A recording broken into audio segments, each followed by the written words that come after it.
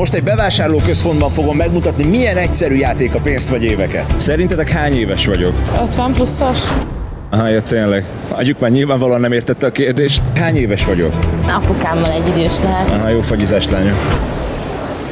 Nem röhög. Szia, szerinted hány éves vagyok? Bocsi, nem követem a retrót. Retro neked a jó édes.